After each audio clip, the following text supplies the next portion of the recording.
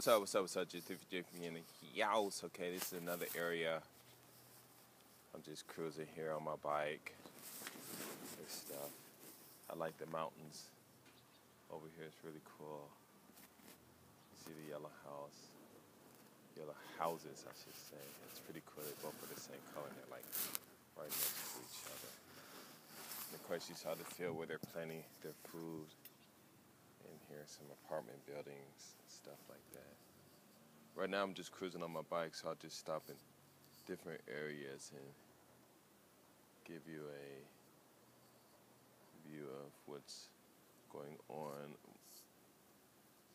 When I get a chance, I will mount a stand on my handlebars and film that. But of course, it's going to be shaky, so it's cool, huh? They have the futons up there. and Stuff is pretty, it's interesting because when you go to like these yeah, nice buildings and stuff, they're not supposed to do it, but some people they just got all their um, laundry and stuff just all over the place. Or just has shit hanging out on the balcony. It's really interesting riding on the train to see that. Wow. It's cool. Anyway, it's really nice, neat,